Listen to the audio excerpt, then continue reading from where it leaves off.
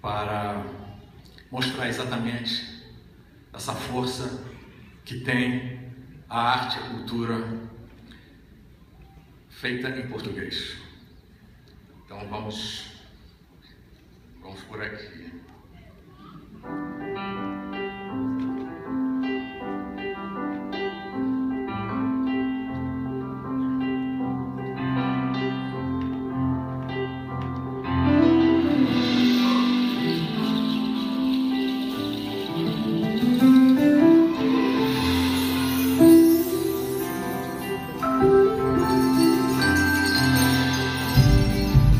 Sempre viveram no mesmo barco. Foram farinha do mesmo saco, a mesma marinha, da mesma rainha, sob a mesma bandeira tremulando no mar.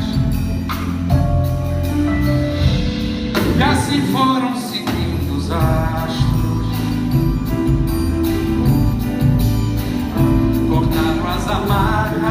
nós, deixando para trás o ponto e o cais, berrando até perder a voz, em busca do imenso, do silêncio.